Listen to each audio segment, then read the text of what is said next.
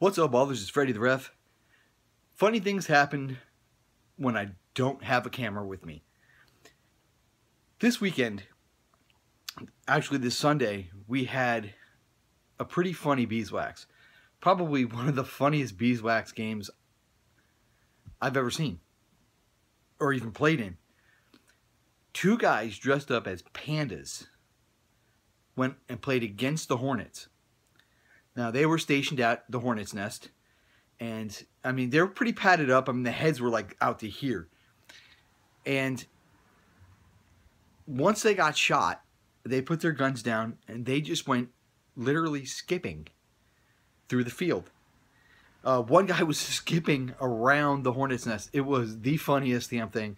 I swear to God, I almost peed. It was like it was so funny.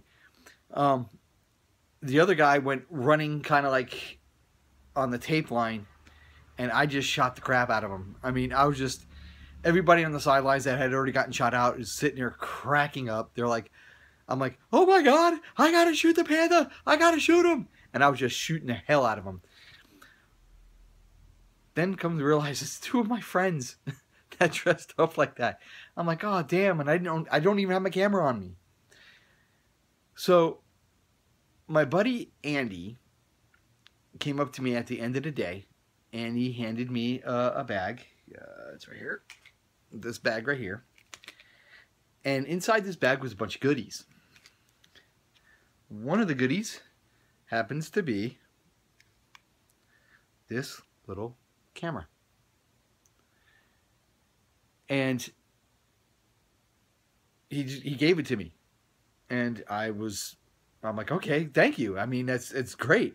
I mean, I've, I've never actually owned a GoPro or a camera that goes onto my mask or gun. I've always borrowed somebody else's, and you know, it's I hate borrowing things from other people. So uh, he gave this to me, and it came with uh, a system that straps onto the side of my mask, like that, and of course it comes with a clear cover, kind of like the GoPros. It just snaps in like that. And goes, here, put it on the mask.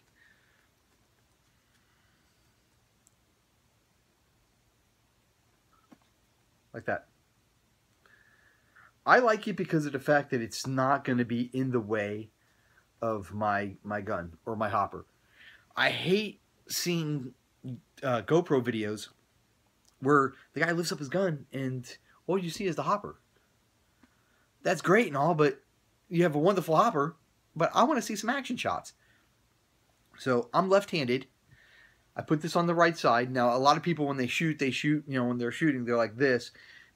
Even if I shoot like this and my hopper's over here, this is way up out of the way. I've already did a test on it. It's doesn't even come close. You, you may see my hopper, but you'll definitely see what I'm shooting at. So I'm going to be doing a lot more uh, videos of my gameplay.